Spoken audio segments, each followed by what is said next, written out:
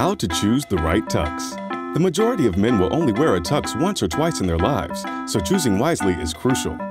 You will need time, photos, event details, information about your date's dress, knowledge of your body type, and expressive accessories. Step 1. Rent, buy, or have a tux custom made two months in advance.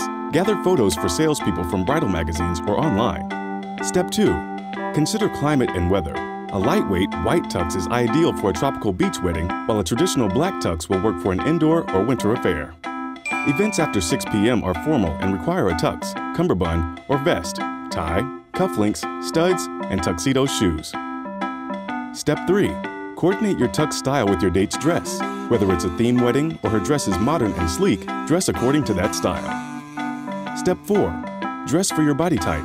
If you're thin, Wear a double-breasted jacket with padded shoulders and fuller pants. Muscular or stocky men look best in a single-breasted, one-button shawl collar tux.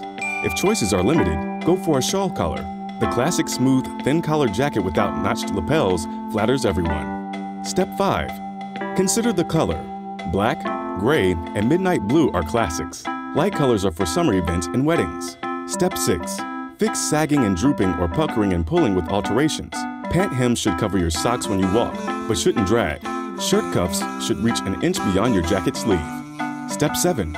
Express your personal style in the details, like studs and cufflinks. Tux shirts, shoes, ties or ascots, vests, cummerbunds or belts, handkerchiefs, flowers, or a top hat are places to make your style mark. Did you know? The tuxedo was invented by Henry Poole, who created a short smoking jacket for Prince Edward VII of Wales in 1860.